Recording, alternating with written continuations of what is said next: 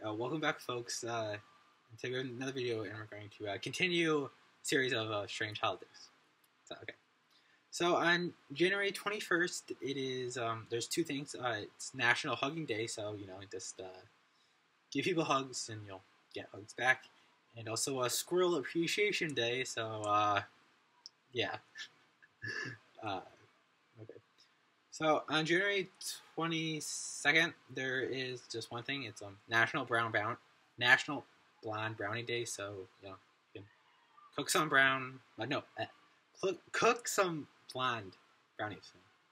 Eat them. Uh, and on National 23rd, there are three things. Um, National Pie Day, so you know you can go eat some pie. Uh, National Handwriting Day, so you know you write something pen or pencil. And also Measure Your Feet Day, so uh, if you want to measure your feet, you can. I don't know. um, on January 24th, um, it is a Beer Can Appreciation Day. So uh, this day just celebrates um, when beer was first put in cans, which was in uh, 1935. So. And also, it is Compliment Day, so you know you can uh, give some compliments to people. Might receive some. Yeah, some. On January 25th, it is uh, Opposite Day, so you know you can do things oppositely if you want to. Um, on January 26th, it is Spouses Day, so it's similar to like Valentine's Day. So, yeah, kind of. Um, on January 27th, um, it is Chocolate Cake Day, so you know you can have some chocolate cake. There's also a Punch the Clock Day, but uh, it's unknown what uh, this how they actually means there's no knowledge about it.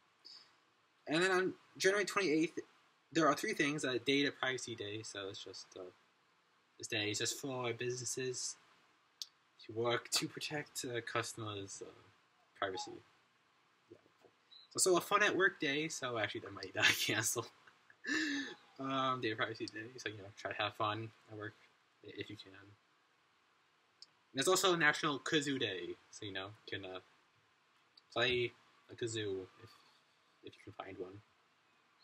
You know, have some fun playing kazoo. Um, then on January 29th, there are two things. Um, National Puzzle Day, so you know you can uh, do some puzzles. And also uh, National Corn Chip Day, so you know you can eat some corn chips. They're, they taste good. Well, yeah. Um, on January 30th, there are two things. It's a bubble wrap appreciation day. so, uh, you know, you can go um, pop the bubble wrap.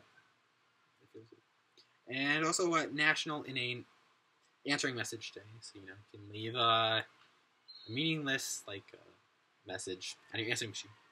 So you completely uh, confuse people. It'd be quite fun. And on January 31st, on, January 31st, there are two things.